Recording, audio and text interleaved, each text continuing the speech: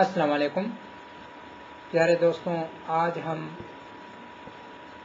एक फ़िल्म से या फ़िल्म के क्लिप से गाना काटना, गाने काटने का तरीका सीखेंगे। या अगर आप एक फ़िल्म से एक क्लिप कॉपी करना चाहते हैं तो उसका तरीका सीखेंगे। इसके लिए हमें ज़रूरत है वीसीडी कटर की। वीसीडी कटर, ये हमारे पास ऑलरेडी इंस्टॉल है। आपको इंस्टॉल करने के लिए मैंने डाउनलोड का लिंक दे दिया है।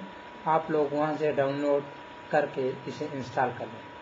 जब आप इसे इंस्टॉल करेंगे तो उसके बाद आपके साथ एक इस तरह का आइकन आएगा। इस आइकन पर डबल क्लिक कर लें।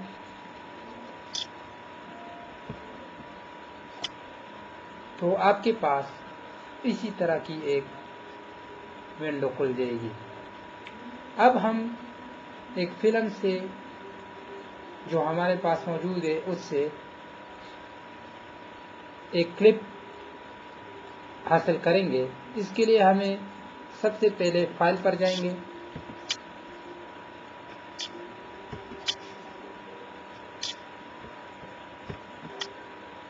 और फ़ाइल से हम ओपन मूवीज़ पर क्लिक करेंगे।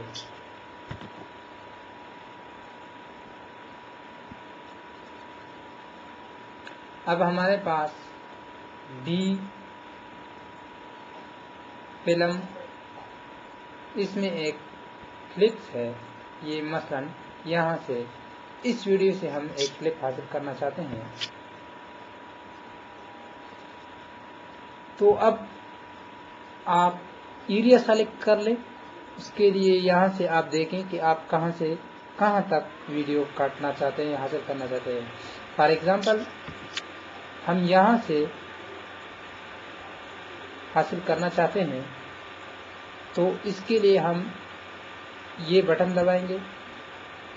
इसके बाद जहाँ तक आप काटना चाहते हैं, लेना चाहते हैं, वहाँ तक सेलेक्ट कर लें। मसलन हमने यहाँ तक सेलेक्ट किया। उसके बाद इससे आगे बटन जो है, इस पर क्लिक करें और इसी तरह स्टेप थ्री पर क्लिक करें और जैसे ही आप स्टेप फोर पर क्लिक करेंगे तो आपके पास एक विंडो ओपन होगी। अब ये विंडो, अब इसमें इसका नाम दे दें। फॉर एग्जांपल हमने इसका फ्लिप नाम रख दिया है और इसे सेव कर दें। अब ये क्लिप जनरेटेड हो गया है।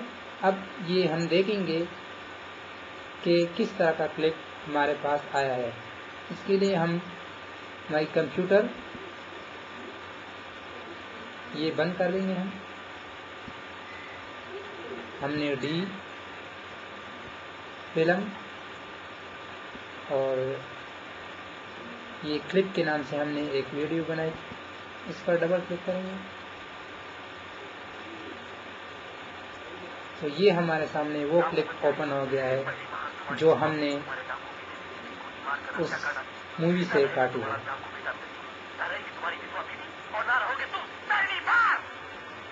इसी के साथ ही हमें इजाज़त दे। अल्लाह हाफिज़।